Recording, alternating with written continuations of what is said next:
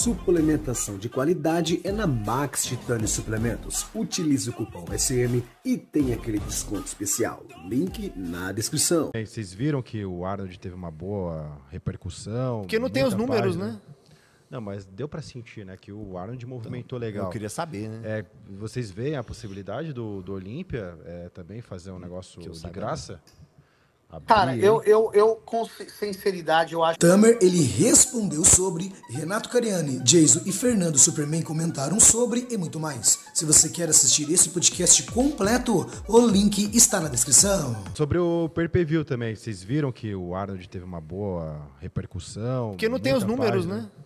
Não, mas deu pra sentir, né, que o Arnold movimentou legal. Eu queria saber, né? É, vocês veem a possibilidade do, do Olímpia é, também fazer um negócio eu de saiba, graça? Abrir, Cara, eu, eu, eu com si- sinceridade, eu acho, eu acho difícil. Primeiro Uhum. porque eu- o, o Arnold, ah, ele fez isso como uma, uma estratégia de marketing, né? Sim. Que eles fizeram. O Olímpia, como vocês lembram, por muitos anos foi de graça o pay-per-view do Olímpia. Ah, hoje em dia, estruturalmente, o Olímpia ah, o, precisa da, da arrecadação do pay-per-view. Né? Ah, precisa para o faturamento total da companhia já está se tornando uma parte importante disso. O careca Ah. disse que banca, hein? O Felipe Bragança Então, disse por que, que vocês não vendem Eu os direitos? também. Não, Vende eu- os então, direitos. Não é só ele que pô. banca, eu também banco também. Eu, eu acho, eu acho. Eu entro nesse leilão. Ele falou que assim, Deixa ó, eu explicar porque eu acho que não funciona isso. Porque ah, Eu entro nesse tem- leilão. Eu acho que teria que ser uma, ser uma coisa difícil, porque se você faz a transmissão de graça para o Brasil, e eu, eu não sou um cara tecnológico que eu posso responder isso, talvez o Renato seja. Minha preocupação, eu acho que a preocupação dos dirigentes, eu teria, minha primeira preocupação seria como que você vai garantir que alguém dos Estados Unidos não vai entrar nessa transmissão, que alguém da China não vai entrar nessa transmissão e vai conseguir o negócio de graça lá. É, é- seria a primeira, eu como executivo e como empresária, seria. O cara teria que responder isso para mim, ó, sem sombra de dúvidas. Vamos supor que você faz esse leilão, leilão para o Brasil e uma companhia compra os direitos, né? Eu teria que ter garantias absolutas que isso daí não podia vazar para outros países, comprometendo a minha arrecadação e fatura em outros países. E se vocês dessem na mão de, de um privado, assim, ó, você faz não só o leilão do Brasil, faz o leilão do mundo. Entendeu? E dá, vamos supor que ó, o Renato. E fala assim: eu não vou comprar a transmissão do Brasil, não. Vou comprar a transmissão do mundo e vou vender um pedaço para narradores americanos transmitirem para os Estados Unidos. Exatamente o que vocês fazem. Baita negócio. Só que ao invés de vocês cuidarem, a expertise do Olímpia não é verdade é transmissão. uma coisa é brother. fato, Tamer.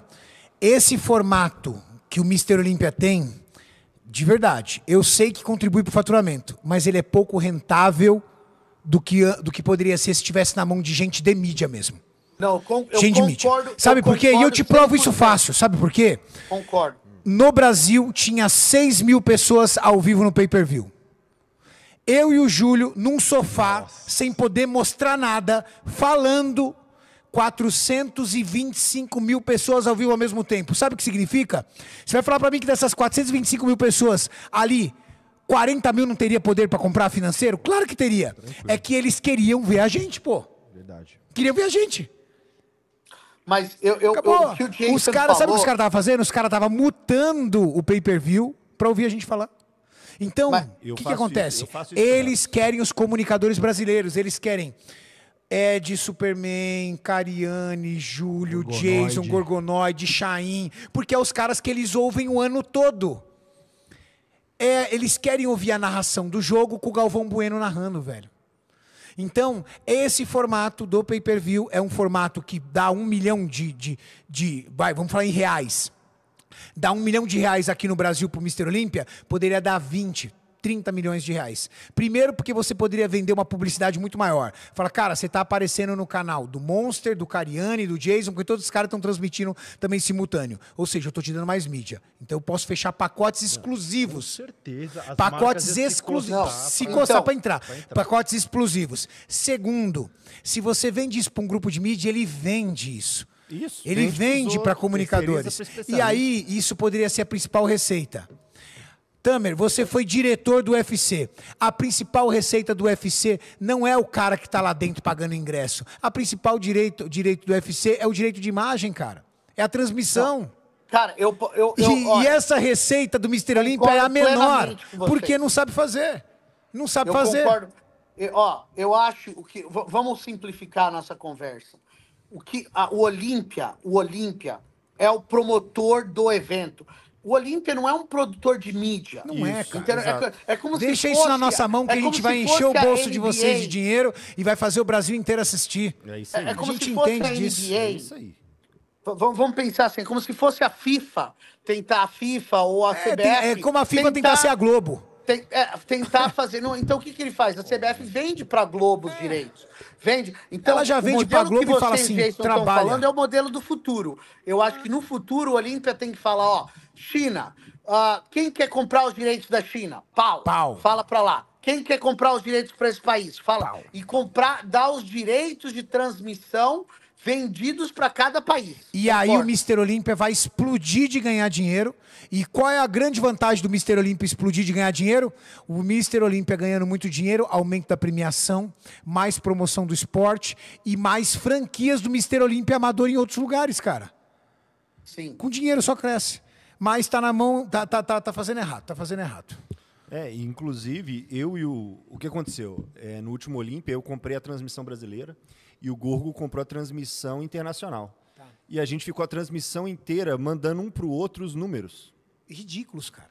Olha aqui, ó. Você tem Acabei os números pegar pico aí? aqui, ó. Fala aí. Aqui, ó. Acabei de olhar aqui, ó. Pico. É, eu, não, eu tô olhando aqui Open, pra vocês terem uma Que noção. é o, Open. ah, o top.